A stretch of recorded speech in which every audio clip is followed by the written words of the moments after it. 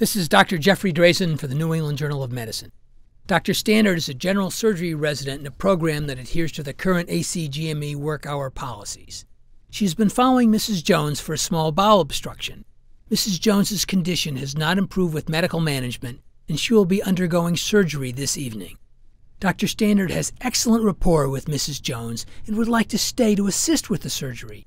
But under ACGME policies, she must hand off her case to the night float resident. These policies were created to minimize long resident shifts in an effort to reduce harm to patients. Do the policies affect patient outcomes or the resident's learning experience? To address these questions, Bilimoria and colleagues undertook the first trial, a national, cluster randomized trial of 117 general surgery residency programs in the United States.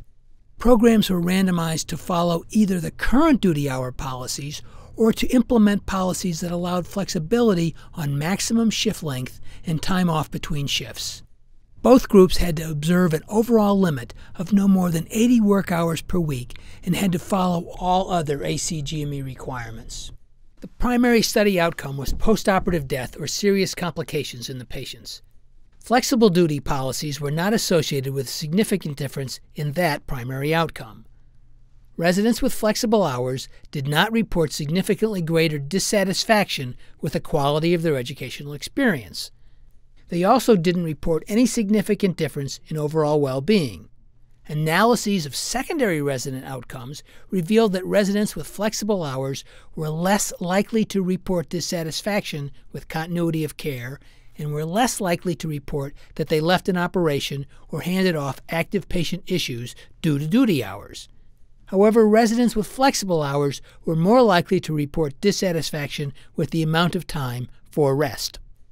Mrs. Jones undergoes an uncomplicated surgery performed with the help of the night float resident, who was able to see the reason for her obstructed bowel, a key learning experience. Dr. Standard returns in the morning feeling rested, but sorry not to have been there for Mrs. Jones and disappointed that she missed this learning opportunity. Full trial results are available at nejm.org.